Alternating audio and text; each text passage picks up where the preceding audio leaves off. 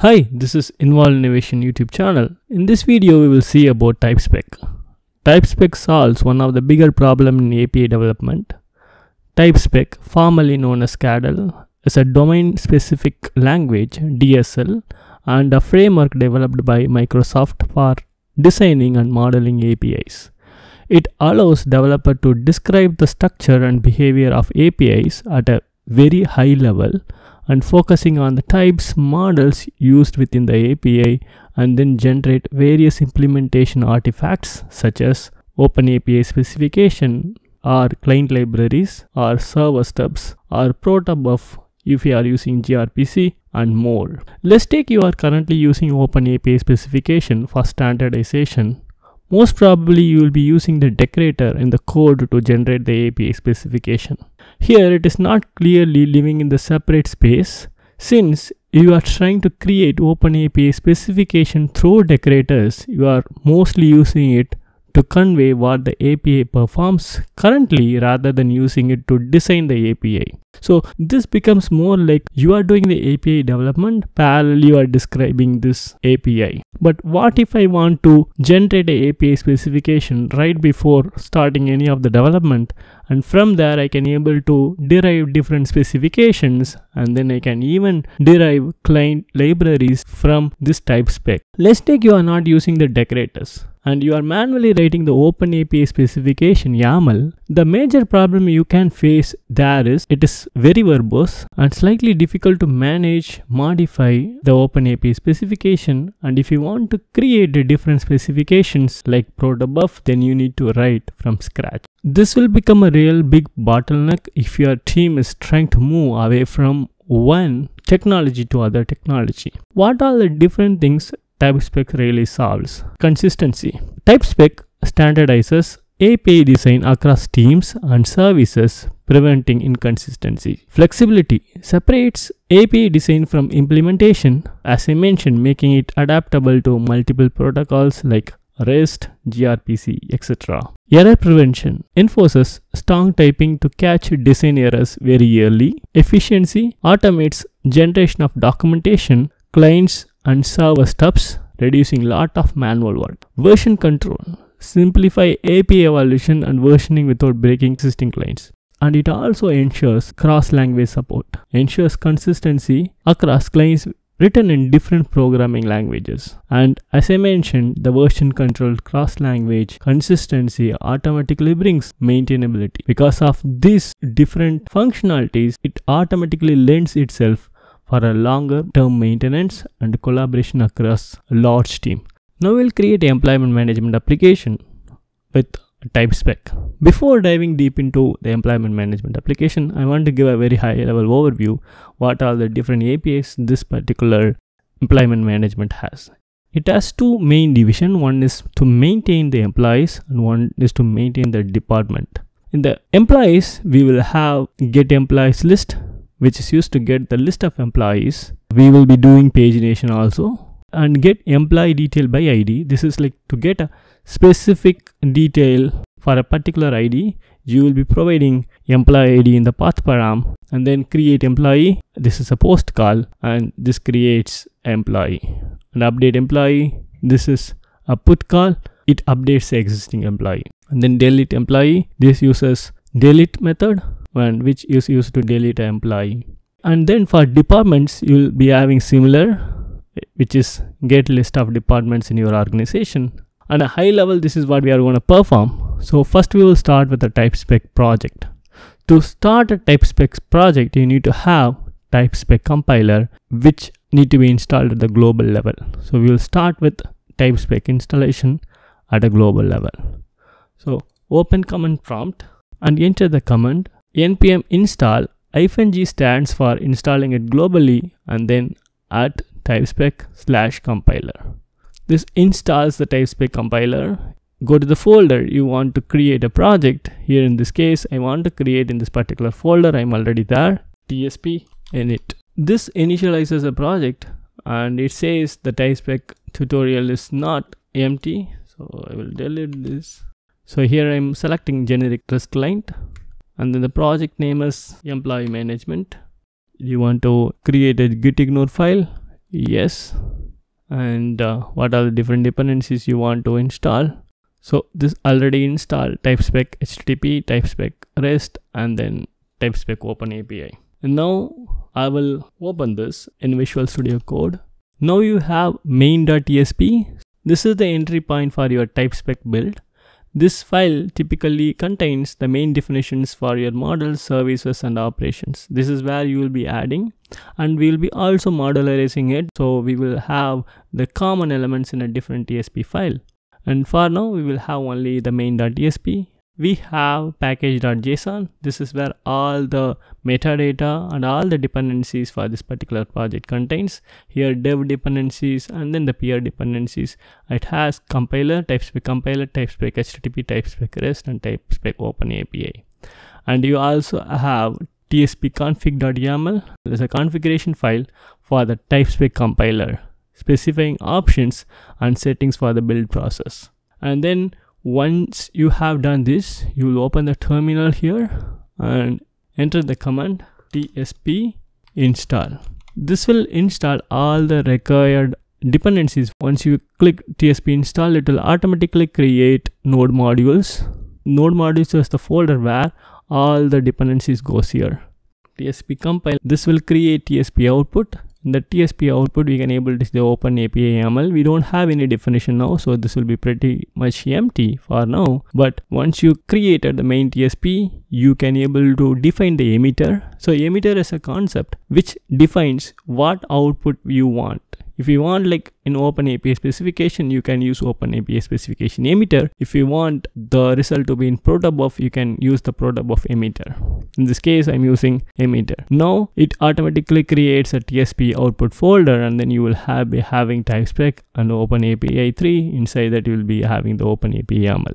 One handy thing what I will recommend is you can install the typespec extension. So if you search typespec you will get typespec for visual studio code. I already installed this. This is a very handy tool. It comes with all the autocomplete features everything. Now going back to the real coding we will start with the model. So the model is the core piece where you will be defining the structure of the response. So in this case, I have an employee model which I already created. So I will copy and paste this employee model here. This employee model has name, department ID, date of joining and date of birth. And we will also create another model which is for department. And for now, I will keep it very minimal and this department only contains name. We will add a enum.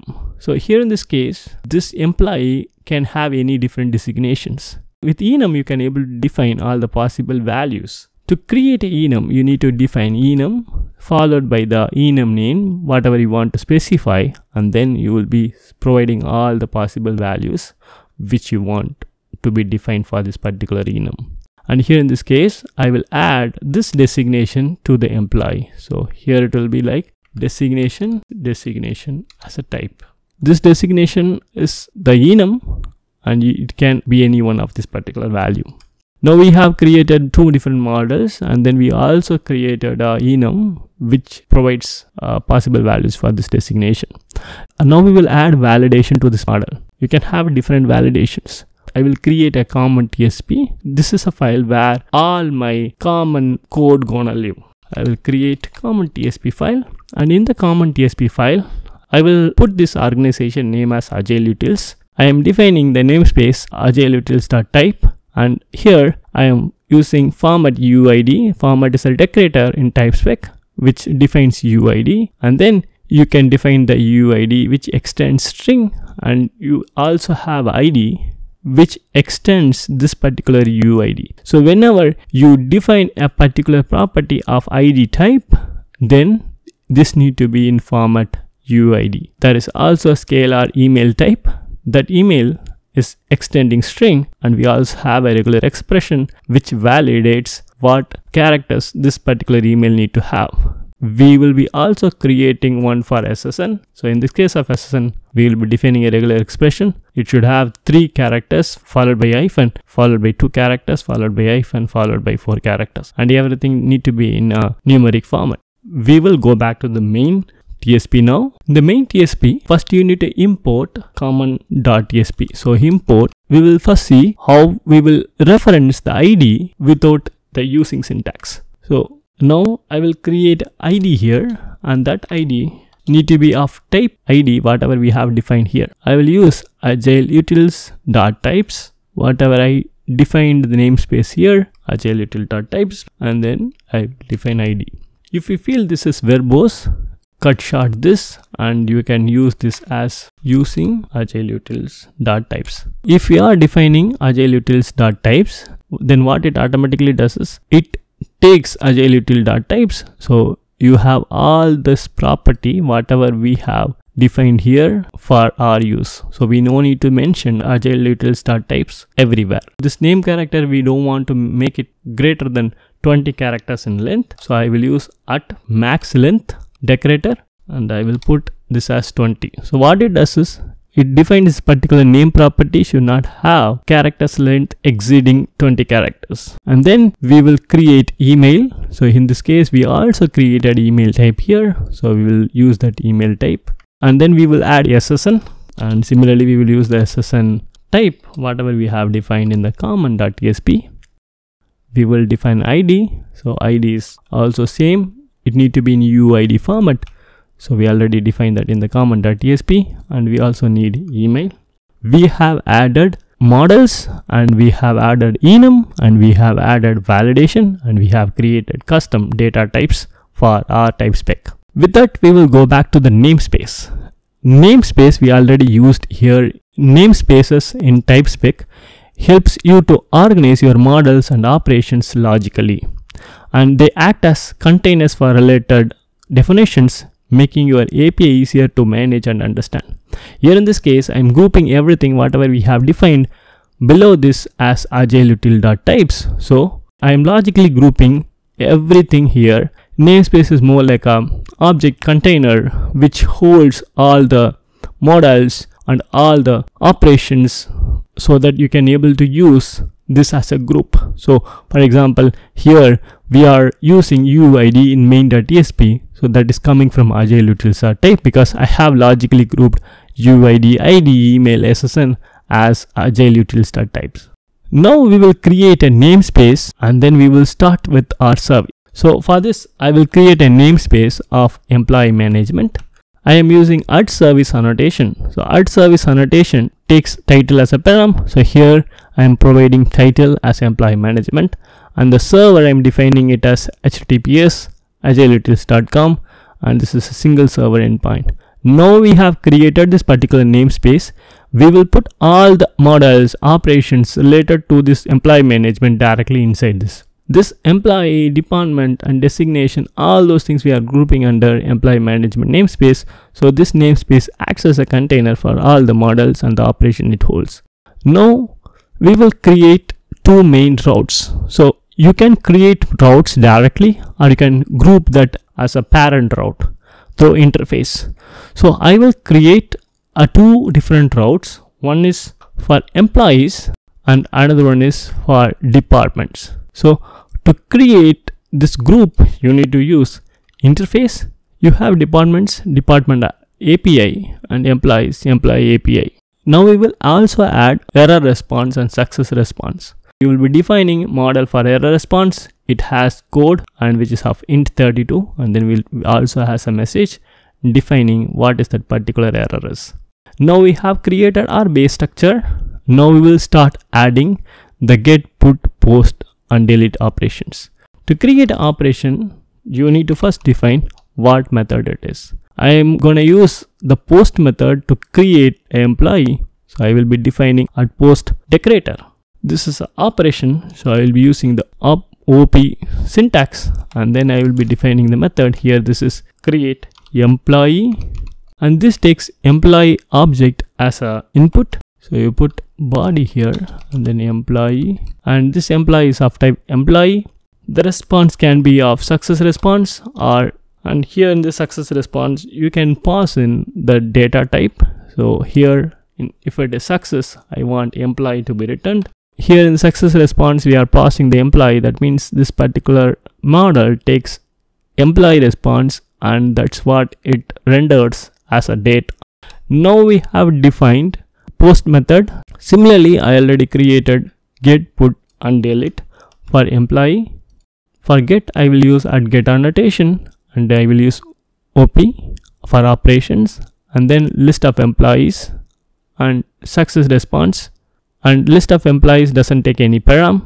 And uh, we will modify this later to take pagination value but for now it doesn't take any params. It can produce success response. If it is a success response it returns a list of employee. So we are using array here so this is where the reusing capability comes. We want the data to be as array not as a single employee object and then it can also return error response.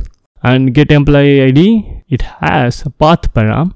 So if you define at path that means id is now a path param. This uri will look something like this and then it can return success response or error response. For update employee we will be using at put decorator and this is output method. So this is a put rest method and then this is operation and it takes id as a path param and also it takes a body that is of employee type and then it can return success response with the data of type employee or error response. And then finally we'll have delete employee. Delete employee takes path id and then success response. You can return a deleted employee or else you can just return this as string. The message stating like employee successfully deleted. And then you have error response. Similarly we will create for departments as well. So we will start with post and get and put and delete. This is similar to what we have done here. So in this case also for delete department rather than keeping it as null we will change it to string. Now we will compile this and see how our open api yaml looks like. So there are like some error. We will understand what are those error. Uh, this is where the type spec for visual studio code shines. We can able to see we have a error here. So this should not be a colon. This should be a pipe. And now we will try to see if there is any other error. It looks like there is no other error here.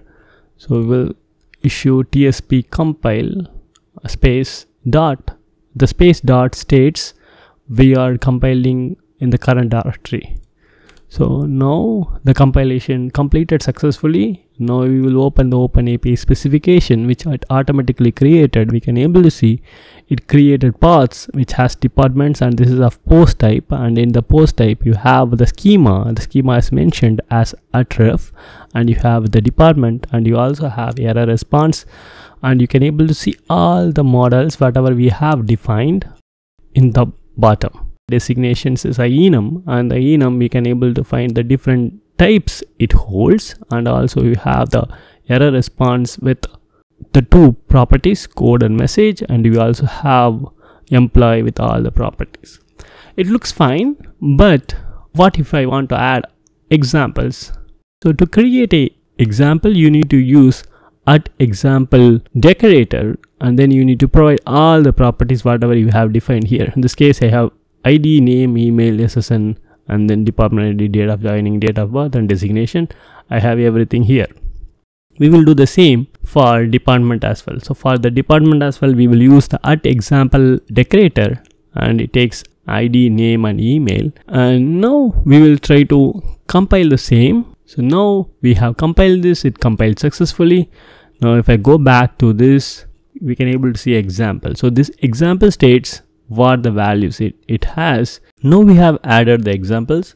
Now we will see how to respond with a different status code. Now we already defined every operation has two responses. One is success response or error response. And what if this particular create employee can able to have like different uh, error codes or response code like 201, 202, error. First we will start with success response. So this create employee can send 201 or 202 so for that we can have an individual object. That individual object can have status code and then the body. Will remove this success response and error response. Instead of that i will use the object for each status code. This can return two success response. If the status code is 201 another success response 202 which is accepted returning employee this is similar for get as well. In the get, we can have 200. We'll also define 404. 404 means the not found.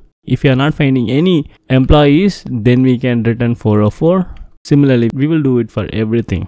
And now we have done the same for department as well. So here we have department api in the department api also for create it can 201 so here this encapsulates the status code and then a department body in an object. And this can have status code. You can add different property here as well. So now this is how we will be defining response for each status code. Now we'll see how to define error models we will start with at error annotations and we will see how to define generic exceptions like not found or validation error and internal server error. This might be very generic on an organization level so you can define this in a common file. So I will use error models.tsp and this error models.tsp we will use and namespace. Here this namespace is used to group all the error models logically. So now we have agile utils error models and it has not found error and code message and then we have code message details as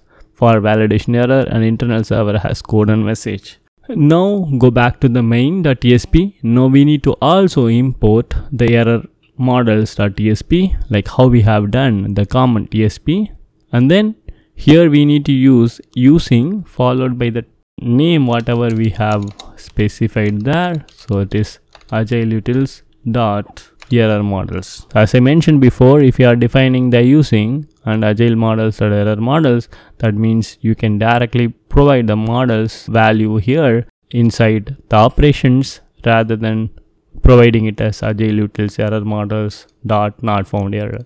In that way i will modify the employee operations. We already have 201 uh, 404 400 for 400 i define the error as validation error. So if you click this validation error this as code validation error message string and then details as array. So similarly you can define this in different places as well. So you have the validation error not found error internal server error for update employee. We can do the similar thing for department api as well now here we have create department and uh, here also we have defined the 400 500 and 404 and we have defined the 400 as validation error for this particular case and then 500 as internal server error and 404 here as not found error. We can add this not found error for get department by id as well. Before recompiling we can go and check how our error response looks like for each and every operation it has success 200 we already defined as an object so this is as a error response and then the success response the success response schema has data and data as type string in this case. In other model case we can able to see the success response as data and then the data is of employee response. Now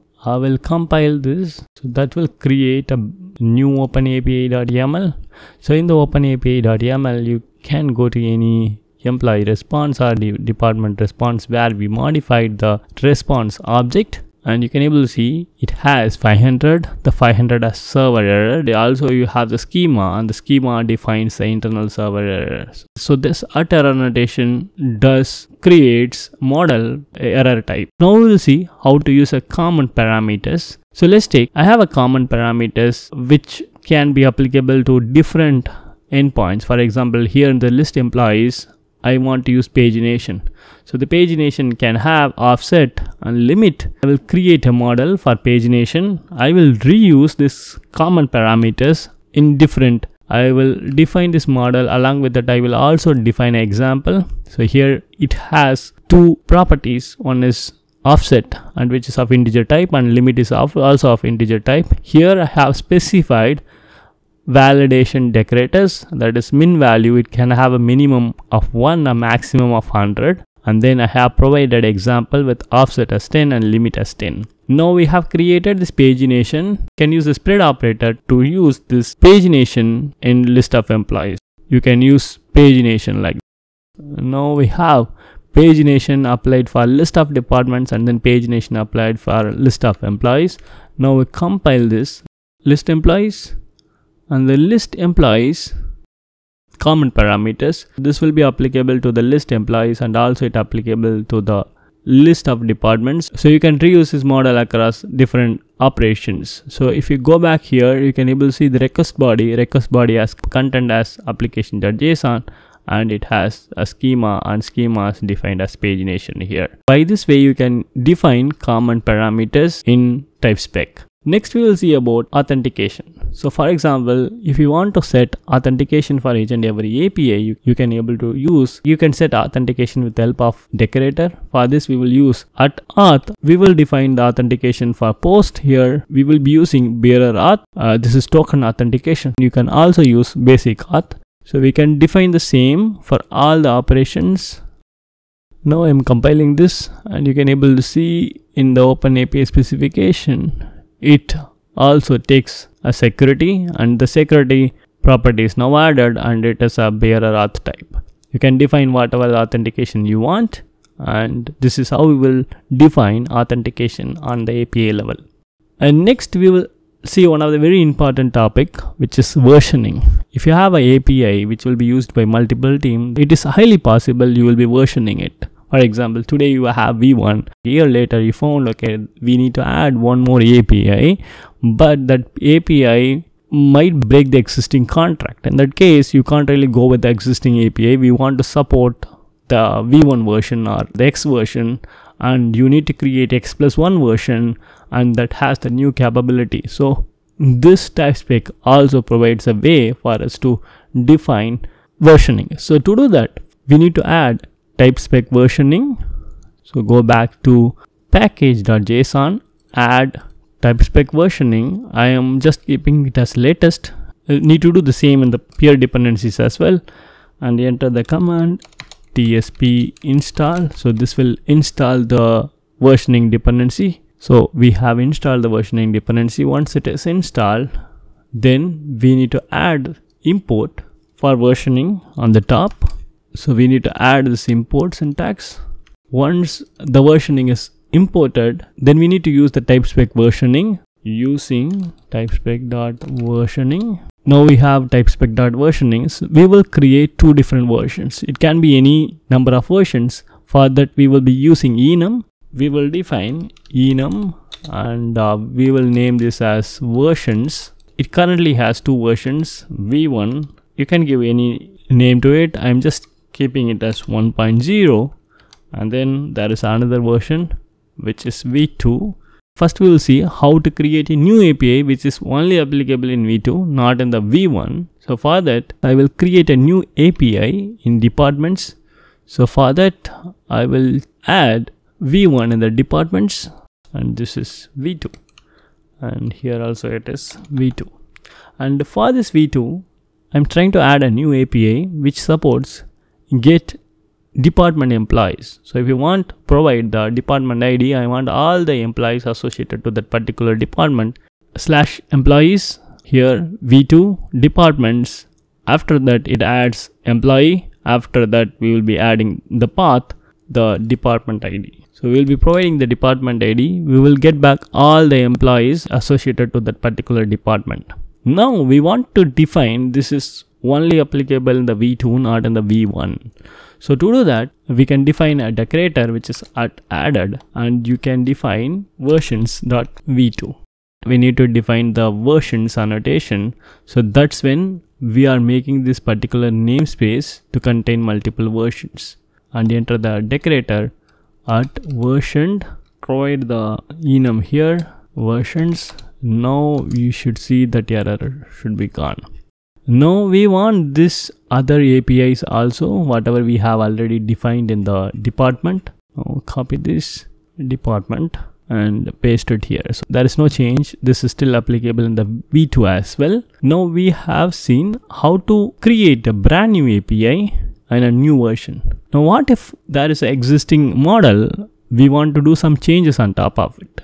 For example if i want to add a new property to existing model for example, if I want to add a new property to an existing model, then we can use at added annotation. So we'll go back to the department and here in the department, we will add a new property named as employee count and this is of integer data type. I will define this as int32 at added annotation and then we will define this is introduced in versions v2 Now we are getting error in the examples that is because we don't have any example set for employee count. We will fix that as well. We will add employee count as a property and we will just set an integer value. So now we have defined a new property which is applicable only for the versions v2 not for version v1. Now what if I have a particular property that got renamed